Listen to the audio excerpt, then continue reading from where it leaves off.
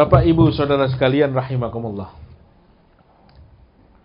Inilah pentingnya suasana dan keadaan. Kenapa manusia yang tadinya punya sifat seperti malaikat, yang seharusnya malaikat berkhidmat kepada dia, kok berubah begitu cepat? Sampai jadi seperti binatang. Masuk sifat binatang dalam kehidupannya. Kenapa? Karena dia tidak jaga hatinya. Dia tidak kawal kefitrahan yang dia dapatkan dari Allah Subhanahu wa taala. Bahkan bukan hanya sampai di situ saja. Kalau kefitrahan itu tidak cepat dikembalikan, tidak cepat dipulangkan, tidak diwujudkan kembali dalam diri manusia, maka manusia akan jatuh dan akan masuk sifat yang lebih buruk, yaitu binatang buas yang kerjanya hanya menyakiti orang saja tidak punya perasaan, tidak punya kasih sayang, kejam, bengis seperti binatang buas. Dan sifat-sifat buruk ini ada dalam kehidupan manusia saat ini. Kenapa begitu bengis? Kenapa begitu kejam? Kenapa tidak punya kasih sayang sesama manusia? Karena dirinya sudah dikuasai sifat-sifat yang buruk. Kefitrahan yang dia bawa dari lahir sudah hilang. Sudah luntur. Dimakan suasana dan keadaan yang buruk. Yang mana dia selalu berada di tempat-tempat yang buruk tadi. Akhirnya kasih sayang sudah tidak ada lagi. Ajaran Allah subhanahu wa ta'ala yang mengajarkan kepada hambanya untuk berkasih sayang sudah tidak ada lagi. Karena masuk sifat binatang buas dalam diri dia. Padahal Allah Subhanahu wa taala perintahkan bagaimana kita punya sifat kasih sayang kepada manusia. Ar-Rahimun yarhamuhumur Rahman. Orang yang punya kasih sayang maka dia akan disayangi oleh Allah Subhanahu wa taala. Irhamu man fil ardi yarhamkum man fis sama. Sayangilah yang di bumi, maka yang di langit akan sayang kepada kalian sama binatang saja. Kita diperintahkan untuk kasih sayang. Sama binatang saja. Kita diperintahkan untuk punya perasaan. Malla yarham la yurham. Siapa yang tidak punya kasih sayang, dia juga tidak akan disayangi oleh Allah Subhanahu wa taala. Kenapa manusia bisa berubah sifatnya? Kenapa manusia bisa kejam, bisa bengis, Karena dia tidak mengawal kefitrahan yang Allah berikan pada dirinya. Tercemar dengan buruknya suasana dan keadaan. Bukan hanya itu, Bapak Ibu Saudara sekalian rahimakumullah. Ketika manusia ini biarkan, dibiarkan, didiamkan, tidak diurus. Kefitrahannya tidak digali, tidak diusahakan Dilepaskan begitu saja. Seakan-akan tidak pernah terjadi apa-apa. Nauzubillah, summa nauzubillah.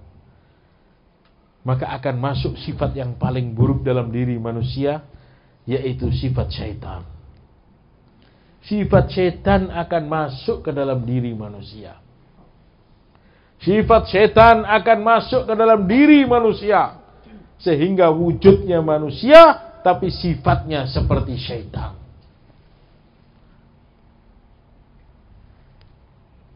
di dalam ayat Al-Quran. Allah subhanahu wa ta'ala menceritakan beberapa sifat setan yang ada pada diri manusia. Di antaranya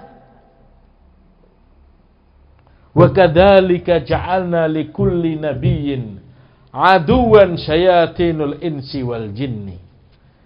Dan aku akan menjadikan bagi setiap nabi musuh-musuh yang berbentuk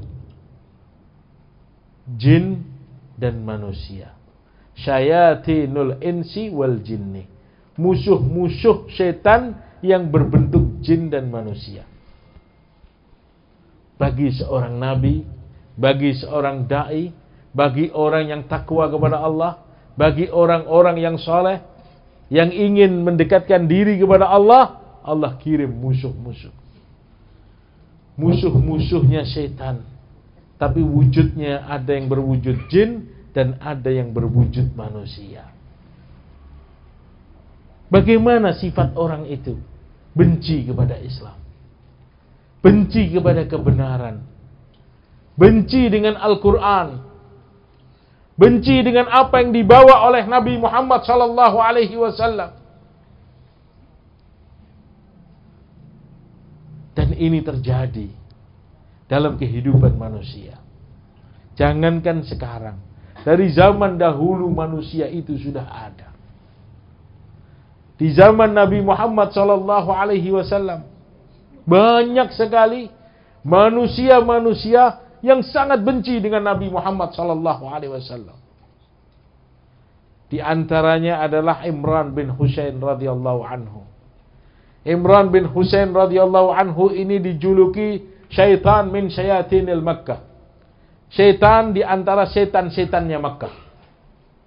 Memang wujudnya manusia, tapi sifatnya seperti syaitan. Benci sekali kepada Nabi Shallallahu Alaihi Wasallam, benci sekali kepada ajaran Islam.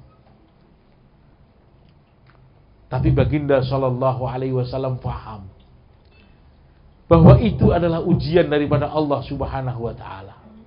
Nabi tidak benci dengan orang itu. Nabi tidak marah dengan mereka, tapi Nabi tahu cara untuk merubah mereka.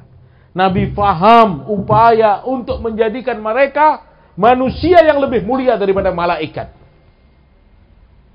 Maka dirubah oleh Nabi Shallallahu Alaihi Wasallam, diusahakan oleh Nabi Shallallahu Alaihi Wasallam Akhirnya manusia yang dicap seperti setan, subhanallah, menjadi manusia-manusia yang menyebabkan turunnya wahyu Allah daripada langit. Manusia-manusia yang diridhoi oleh Allah. Manusia-manusia yang dijamin masuk ke dalam surga. Padahal tadinya sudah punya julukan syaitan min syayatinil Makkah.